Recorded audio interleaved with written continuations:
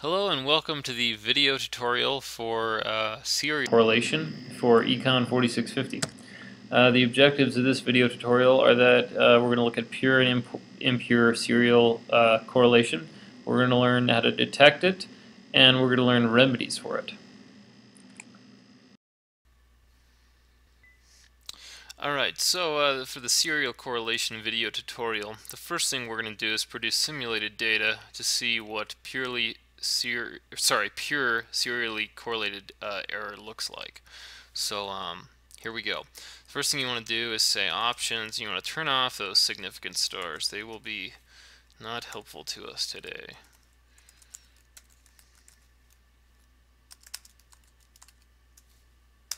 And then you're going to set a seed so you can reproduce what's going on here.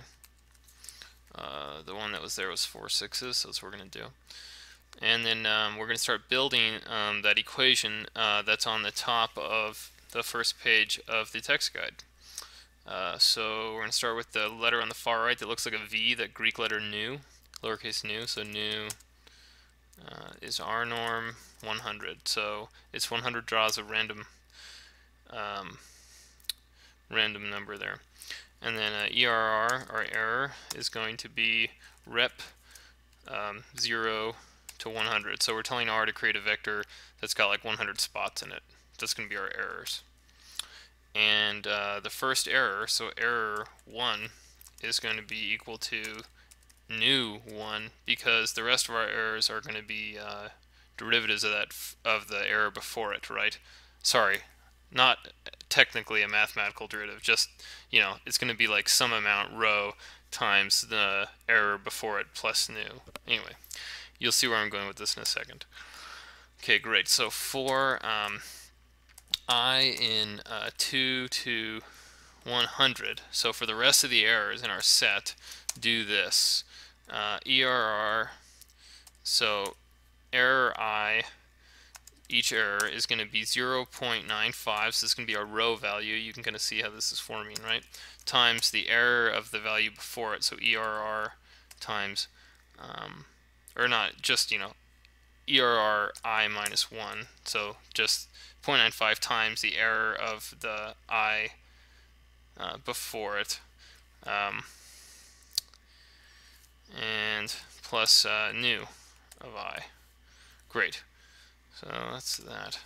And then let's plot this uh, thing. And that looks great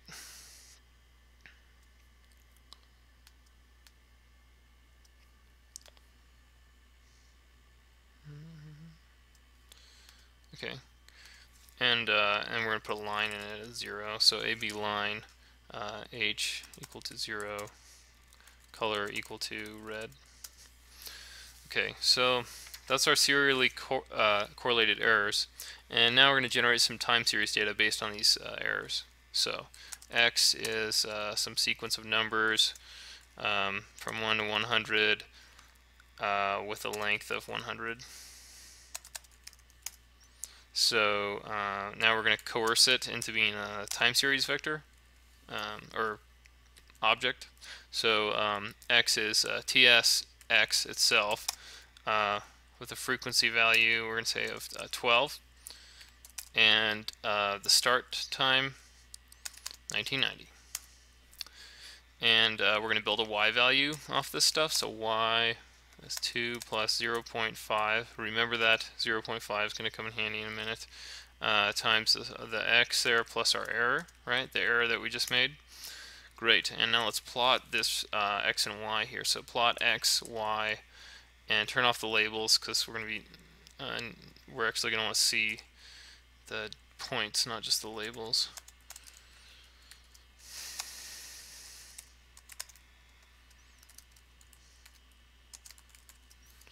Um, if you don't understand why we turn off the labels, try it without doing that and you'll see why. Great. So there's our fake data that is serially correlated. Uh, let's conduct a regression on this and build a 95% confidence interval on this data. So we're going to say model 1 is uh, regressor. Let's see, it's going to be uh, LM of x on y. So uh, y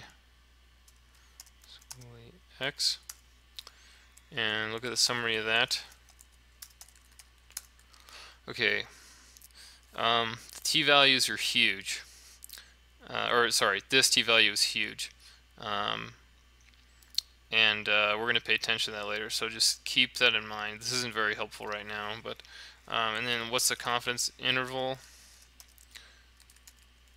And you can see actually up here that the estimate looks pretty close too, which is, which is funny, right? So uh, confidence model 1. So here you can see that the 5% confidence interval uh, actually does not include what the true parameter was of uh, uh, the beta of x, which we know is 5, right, because we made it. So this is an example uh, that although OLS estimates are unbiased in the presence of serial correlation, um, the standard uh, errors of the estimates actually are thrown off. And uh, in this example, um, the confidence interval is too short because of the bias in the estimate of the standard error, right? so you can correct this by widening the standard error uh, which is something we're going to do um, in a couple sections. So that is uh, the first section. So for the uh, second section, uh, detecting serial correlation, we're going to be um, looking at uh, the Durbin-Watson test uh, based on the D statistic. And to calculate the D statistic, we're going to want to get rho, hat, and um, there's a fast way to do that and then there's like the manual way. So we're going to do it kind of manually so you can see what's going on and then we'll do it um, the easy way right? So here we go. Uh, we want to load up the dynlm package. So library uh, dynlm um, if you don't have it installed uh, which I guess I wouldn't expect you to I do because I've run through this uh, before um, uh, so, but if if you don't have it installed, be sure and install it. Um, if you don't remember the command, it's a uh, it's install dot packages, um, and then with uh, dy and lm in quotes, or you can go up here, packages and data, and go through here. Uh, we're using this package because it allows you to work with um, uh, or to mess with uh, linear modeling of time series uh, type objects uh, while preserving some properties in them. So anyway, whatever. Uh, let's create um, a time series object of the OLS errors. So ERR OLS. Again, this is the first step, and we're going to calculate rho hat. And if you don't know what rho hat is, um, please review the chapter or at least the paragraph under the section heading on the text guide. So error OLS. Uh, so TS. Um, model one dollar sign resid, right? So we're pointing out the errors there. Uh, and then um, ERR model is uh, dynlm, right? So that's the function call here. And then error OLS, um, and the right hand side of this regression is going to be L, which is, stands for like lag. So we're going to lag uh, this object error OLS by one. That's what we're doing, right? So we're regressing the lagged error on the regular error. And uh, we're going to look at this real quick.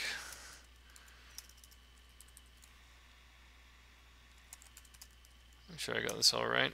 Um, and basically, this is your rho hat right here. So that's how you can get rho hat. And uh, since we have rho hat, we can calculate the critical value of the D statistic. So that's equal to like 2 times 1 minus your rho hat value, so 0.90912. Um, and it's attempting to apply non-function, so that's an error. Don't forget your little multiplication sign. okay, great. So anyway, the point is we went from, we just calculated our rho hat and then we transformed it into a critical D value of uh, 0.1817 and you're thinking, big whoop, uh, what does that mean? And uh, if you go ahead and you um, look at page 409 in the uh, uh, custom edition of the text there. Uh, you know that n, our number of observations was 100, so you go down to the bottom row there, and the k, the number of explanatory variables uh, excluding constant, was 1, and so there's a critical lower and upper value for the d statistic, and r value is below the lower value, hence we can reject uh, the null hypothesis that rho is uh, 0. Um, and uh, hence we can find evidence of um, multicollinearity. So that's great. Um, and let's see, now we can have R calculate this statistic. Uh, I guess I kind of jumped the gun on the explanation there. Oh well, so if you load up uh, LM test, let's say library LM test, uh, and again, if you don't have that package, you need to install it. Uh, and then DW test uh, is the command and model 1, and it'll pull out, what do you know, it's our same critical uh, statistic there, and uh, this DW test command is spitting back a uh, one-tailed um, uh, test here, which is fine. So uh, anyway, and then you can also kind of see uh, there's a description there in the text about what to do when you're testing for negative serial correlation. Um, we're not, so that's fine. If the value was, if the critical value that we had calculated was in between the upper and lower um, uh, D values on the table, then we would have an inconclusive test. But ours is definitely lower. It's definitely in a zone where we can reject the null hypothesis. So um, that is great. And now um, let's uh, look at an example of uh, when there's not serial correlation. So let's create some data uh, like that. So y2 is going to be our uh, new thing, and it's going to be 2 plus, uh, 0.5 uh, times x plus uh, nu, and remember nu is just random uh, error there. So our model 2 is going to be um, this lm uh, y2 and uh, x. And then looking at uh, a DW test of model 2, here we have a Durbin-Watson value that is above um, the upper critical value, so we do not reject the null hypothesis. Um, and uh, we can say that there is no evidence of positive serial correlation there, so that is great. Uh, and next, let's see. Uh, we can use the Durbin-Watson uh, procedure to test for impure serial correlation. So impure serial correlation is serial correlation that happens because of a specification error, not because of uh, some problem with the uh, uh, variables itself. So that is kind of cool. So we'll let's create some. Let's create a scenario where that happens, right? So y3 is uh, 2 plus 0 0.01 uh, times, here we go, uh, x caret 2, x squared plus nu. Okay, so we have like a squared value. This is going to like throw off our whole deal, right? So now if you plot this, you'll see uh, what's going on, right? So y plot x and y3, um, and then uh, x, y labels false, uh, so that's great. So this is like a nonlinear relationship. You can see that there. Um, and now we can estimate the model and do a Durbin-Watson and a reset test. So that's kind of cool. So model 3 uh, is uh, an LM, linear model of x regress and y3. So y3 tilde x. Um, and then let's do a Durbin-Watson test on it. And you have a uh, a very small um, Durbin-Watson uh, value there, so you can go ahead and reject the null hypothesis, um, and uh, you can say that there is some uh, e evidence of serial correlation there. Now again, we know that this is going to be um, like created because of a specification error, but nonetheless, uh, we detected it with the Durbin-Watson test. So that's kind of cool, right? And next we can run a reset test and see if it'll tell us uh, we, if we have a uh, specification error, right? Uh, so your uh, reset test has produced an F statistic very large, uh, 2,357, which I think is probably large enough for us to um, reject the null hypothesis of the F test involved there uh, that in fact um, the uh, true values are uh, jointly zero. So basically what we're saying is yes we have evidence that we have some kind of um, misspecification. Great, and we should have known that because we tried to run a linear model on um, a relationship that is nonlinear. Okay, um, so now let's specify a model uh, with this um, data that uh, fits it better, right? So if we say model 4 is uh, LM Y3, and then uh, we're going to have a capital I, and inside there we're going to say uh, x raised to the 2. So the capital I um, is a is a function that tells R that uh, whatever is inside these parentheses, uh, calculate it as it's written. Um, that's important because if you don't, uh, R might interpret the caret uh, symbol as something else inside of a function call or inside of a uh, formula call. So anyway, just write it like this and you'll be fine.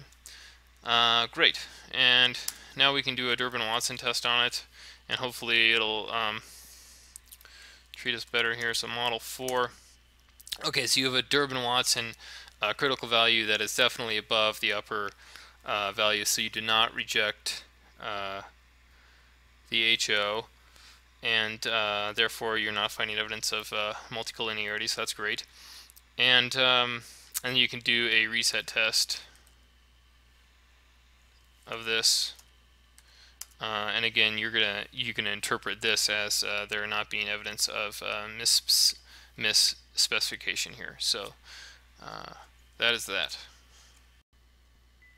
Okay, so for the final uh, part here, we're going to talk about uh, remedies. The text guide mentions three. Uh, one is you can uh, think if the regression is well specified in terms of the functional form and variable selection, uh, and if not, you can try and change it. Uh, the second method is to use generalized least squares, which is more advanced. or you can do um, the Newey West standard errors method, which will uh, kind of preserve the um, uh, OLS slope estimates, but uh, give you uh, um, an estimator of the standard errors that uh, is generally more accurate uh, than the uncorrected standard errors for large samples which have serial correlation.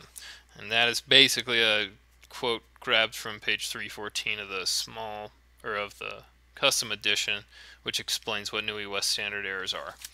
Great. Uh, so let's pull it out the sandwich package and uh, do it. So here we go. Um, library uh, sandwich, not Dandwich, uh, sandwich. Again, you're going to need to install that if you don't have it. Um, so keep that in mind. And then uh, NW is going to be the function uh, Newey West, capital N, capital W, model 1. Okay. And uh, let's look at that. And basically, this gives you a matrix back, and the main diagonal, uh, or sorry, the square roots of this, uh, these two values in the main diagonal here uh, are the standard errors. Um, so we can calculate uh, t statistics uh, for our previous uh, model with serial correlation as such. Model 1 dollar sign plot coefficient divided by square root of the diagonal of that matrix we just made NW um, and it cannot find function SWRT let's try SQRT okay uh, so there you go. So now you've got uh, t statistics which are lower than those based on conventional standard errors, uh, and thus you're going to have uh, wider confidence intervals, which brings it back to that uh, point we made before when the confidence interval is not wide enough. Uh, so anyway, this is the t statistic, and you can compare that with, for example, the t statistic from x from model 1 when we did not adjust it as such. Thank you.